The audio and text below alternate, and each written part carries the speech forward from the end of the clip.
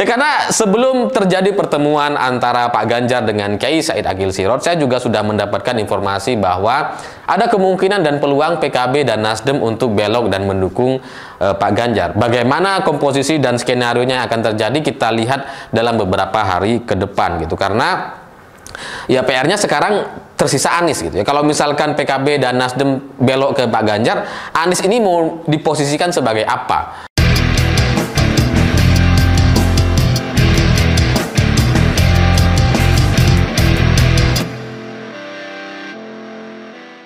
Selamat malam semuanya. Kemarin ada satu pertemuan yang menurut saya ini cukup menggemparkan dan secara dampak itu bisa sangat besar bahkan bisa mengubah peta koalisi jelang Pilpres 2024 dan pertemuan ini adalah pertemuan antara Pak Ganjar dengan Kiai Said Akil Sirot dan entah kebetulan atau enggak, entah disengaja atau enggak gitu ya.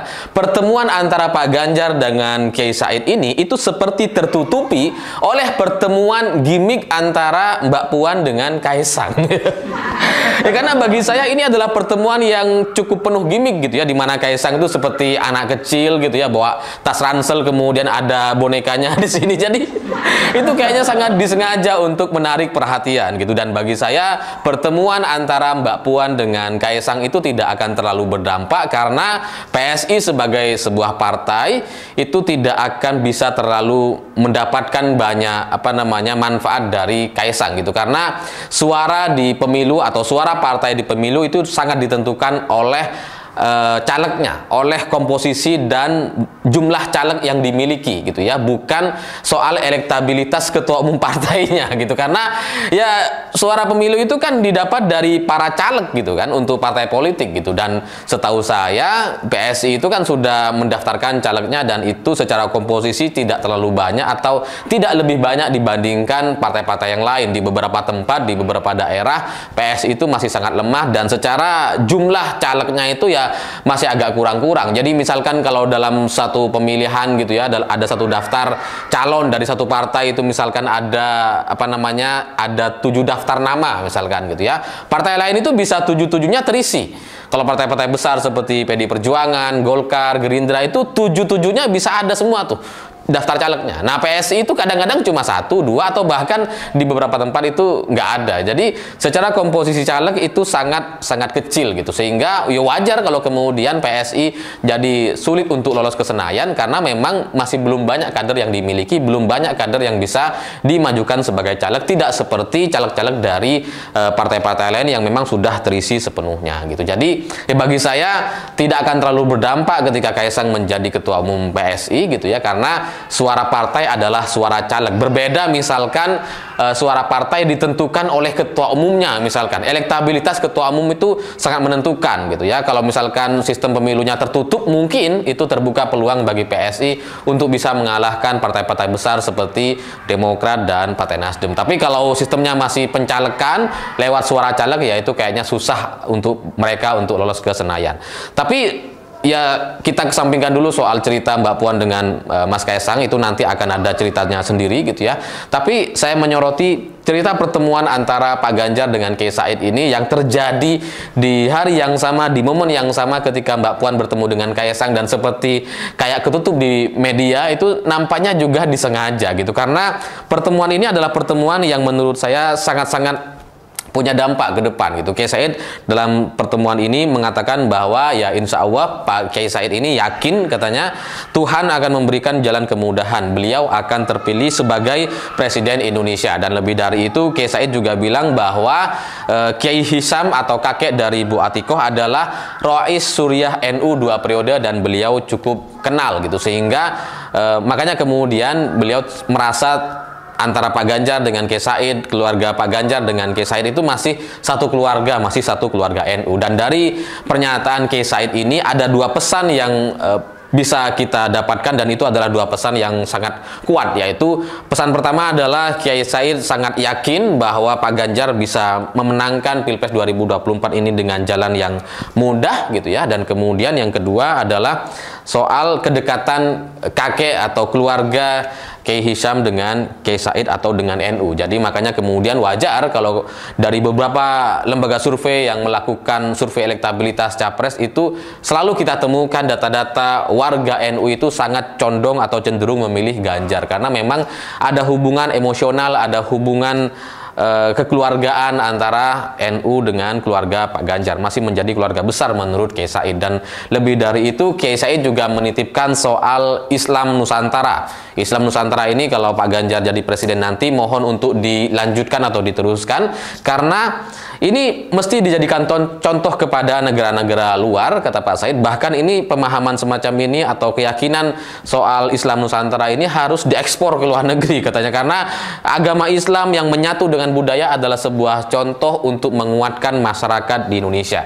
Jadi makanya kemudian masyarakat di Indonesia itu cenderung lebih stabil, cenderung lebih kuat gitu ya. Karena ya agama dan budaya itu bisa menyatu sehingga tidak ada kemudian saling mengkafirkan dan sebagainya dan tidak terjadi perpecahan antar sesama warga negara seperti negara-negara lain tidak ada perang saudara setidaknya sampai hari ini karena agama dan budaya bisa menyatu. Dan itu yang menjadi masalah dan tidak dimiliki oleh negara-negara luar. Memang ada beberapa ormas radikal ormas intoleran ormas yang sudah dibubarkan oleh pemerintah yang coba memasukkan pemahaman-pemahaman pemahaman anti dengan Islam Nusantara ini. Tapi pada akhirnya itu kan e, kalah juga gitu ya. Pada akhirnya dibubarkan oleh pemerintah karena Indonesia karena Pak Jokowi sangat-sangat menjaga NU dan Islam Nusantaranya.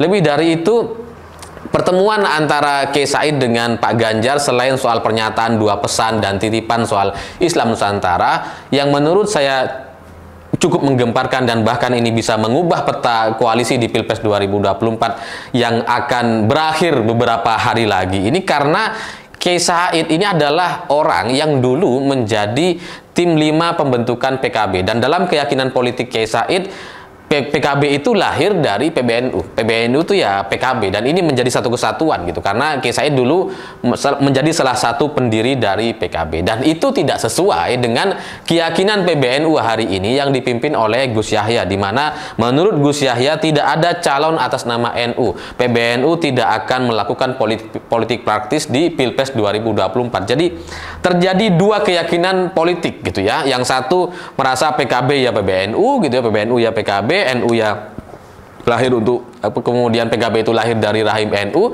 yang satu lagi merasa enggak kita tidak terikat dengan politik praktis dan politik mana pun tidak mendukung atau tidak punya calon dari eh, NU atau PBNU karena PBNU bukan partai politik dan sebagainya.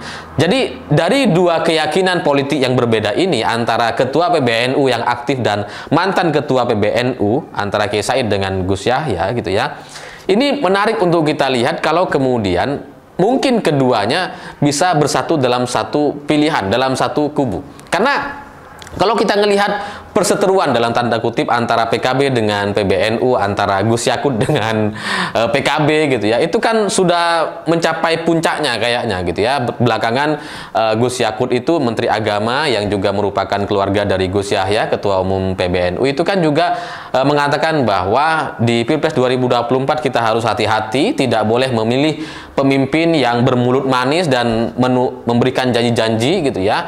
Dan kita harus ingat dengan politik identitas tahun 2000 2017 dan itu semua pernyataan-pernyataan Gus Yakut mengarah kepada Anies Baswedan. Padahal Anies adalah capres yang didukung oleh PKB dan mereka sudah resmi e, berkoalisi. Jadi perseteruan antara PKB dengan Gus Yakut, PKB dengan PBNU itu semakin semakin meninggi. Nah, dengan dua keyakinan yang berbeda ini, yang satu yakin bahwa PKB lahir dari PBNU atau PKB lahir dari NU dan kemudian satunya lagi tidak yakin atau mengingkari itu atau mengatakan bahwa tidak ada capres dari NU, kita tidak berpolitik praktis dan sebagainya. Tapi kedua keyakinan politik yang berbeda ini, perbedaan pendapat ini masih bisa disatukan dengan satu keyakinan. Masih ada satu titik temunya yaitu NKRI Pancasila dan Undang-Undang 45. Dan dengan keyakinan ini mereka sepakat bahwa Siapa pun capres, yang penting bukan Anies Caimin.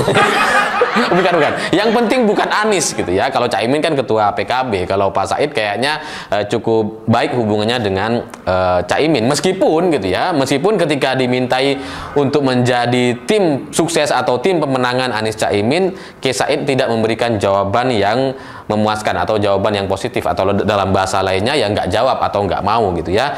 Jadi saya melihat kenapa pertemuan dua tokoh ini penting dan cukup menggemparkan karena nampaknya gitu ya Pak Ganjar bisa menyatukan dua keyakinan politik yang berbeda ini gitu ya. Yang satu yakin PKB itu lahir dari PBNU, yang satu yakin bahwa kita tidak boleh politik praktis itu kan karena satu alasan yang sama gitu. Karena keyakinan mereka soal NKRI, Pancasila dan Undang-Undang 45 itu satu. Dan tidak boleh ada lirik-lirik kanan kiri seperti kata Gus Yahya kepada keyakinan-keyakinan yang lain selain ini. Tidak boleh berpikir soal sistem yang lain selain NKRI ini gitu.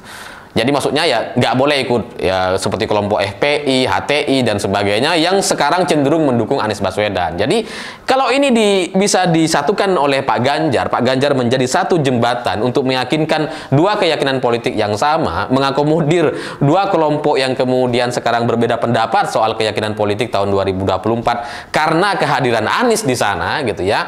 Mungkin Pak Ganjar bisa menyatukan uh, keduanya gitu sehingga dari sini bisa menjadi sebuah jalan keluar bagi PKB untuk mendukung Pak Ganjar. Karena dari beberapa survei kalau kita lihat gitu ya pasca deklarasi Anies Caimin yang e, diyakini sebelumnya itu akan menaikkan elektabilitas Anies untuk bisa menambal suara di Jawa Timur untuk bisa mengimbangi suara Pak Ganjar di Jawa Timur itu ternyata setelah deklarasi pasca deklarasi itu ternyata suara Anies Caimin malah cenderung turun. Dan itu sama sekali tidak menguntungkan bagi Caimin dan PKB sehingga kalau Caimin masih ingin mempertahankan posisinya sebagai ketua umum PKB nampaknya dia tidak bisa mempertahankan koalisi dengan Anies Baswedan. Karena itu akan sangat-sangat merugikan PKB PKB sehingga kalau ke depan PKB berubah kemudian mendukung Pak Ganjar itu akan jauh-jauh lebih sesuai akan e, lebih menguntungkan PKB karena ibaratnya tuh warga NU lebih cenderung ke Pak Ganjar. Nah kalau Caimin mengubah itu, melawan ini gitu ya. Kemudian mendukung Anies yang ini memang berseberangan sama sekali gitu ya. Ini jadi banyak orang jadi nggak suka dengan Caimin dan itu kalau kita tanya kepada warga NU hari ini, teman-teman saya juga banyak yang nggak suka dengan itu. Tapi itulah realitas politik yang sudah diambil oleh Caimin gitu. Sehingga ya mungkin ke depan ini akan menjadi satu jalan keluar yang itu kemudian yang saya simpulkan pertemuan antara Pak Ganjar dengan Kiai Said itu akan cukup menggemparkan karena bisa jadi menjadi uh, perubahan arah koalisi gitu ya. arah koalisi perubahan koalisi perubahan akan berubah lagi ke depan kayaknya ya karena sebelum terjadi pertemuan antara Pak Ganjar dengan Kiai Said Agil Sirot, saya juga sudah mendapatkan informasi bahwa ada kemungkinan dan peluang PKB dan Nasdem untuk belok dan mendukung uh, Pak Ganjar. Bagaimana komposisi dan skenario nya akan terjadi kita lihat dalam beberapa hari ke depan gitu. Karena ya PR-nya sekarang tersisa Anies gitu ya. Kalau misalkan PKB dan Nasdem belok ke Pak Ganjar, Anies ini mau diposisikan sebagai apa? Apakah sebagai cawapres? Ya semoga enggak. Naudzubillah. semoga enggak. Ya, tapi kalaupun jadi cawapres ya itu adalah pil pahit sama seperti yang kita telan tahun 2014 lalu ketika Pak Jokowi berpasangan dengan Pak JK gitu. Dan belakangan Pak JK itu kan juga juga sudah ketemu dengan Mbak Puan dan itu masih menjadi satu bagian dari uh, cerita atau rangkaian cerita ini ke depan akan akan mengarahkan kepada perubahan koalisi gitu ya. Sehingga ya ke depan ini PR-nya hanya tinggal Anies aja dan itu nampaknya yang akan menjadi apa namanya uh, peluang untuk mengubah arah koalisi ini. Tapi pada akhirnya yang saya yakini Kiai Said itu cukup punya dampak di PKB dan kemudian secara personal Kiai Said itu masih punya apa namanya hubungan emosional dengan keluarganya Pak Ganjar, NU dengan keluarga Pak Ganjar dan lebih dari itu Kiai Said juga nampaknya beberapa kesempatan sebelumnya itu cukup mendukung Mahfud MD, sosok yang sekarang sedang digadang-gadang untuk bisa maju mendampingi Pak Ganjar di Pilpres 2024. Dan lebih dari itu, setahu saya PKB eh, atau uh, K. Said Akil Sirot itu juga punya kedekatan dengan Erick Thohir gitu ya. Itu yang saya baca karena kalau melihat dari pergerakan orang-orang teman-teman yang ada di sana memang kayaknya mereka cukup cukup cukup baik hubungannya sehingga kalau PKB bisa masuk dan Kiai Said juga ada di sana, Gus Yahya, Gus Yakut juga anti dengan uh, Anies dan PKS ini gitu ya. Itu mungkin akan menjadi satu kekuatan yang bisa menarik banyak orang termasuk Erick Thohir untuk kembali merapat kepada Pak Ganjar. Sehingga di Pilpres 2024 mungkin hanya akan menyisakan dua calon dan itu akan terulang lagi Pilpres sama, sama seperti di Pilpres 2019 secara komposisi gitu ya. Ada Mahfud MD, G. Said, ada Erick Thohir juga bersama dengan Pak Ganjar dan itu akan memudahkan seperti yang disampaikan oleh Pak Said. Jalan Pak Ganjar untuk menjadi Presiden Indonesia itu insya Allah Tuhan akan mudahkan. Dan itu yang kita amini dan yakin ini bersama-sama. Saya pikir itu. Terima kasih sudah menonton. Begitulah kura-kura.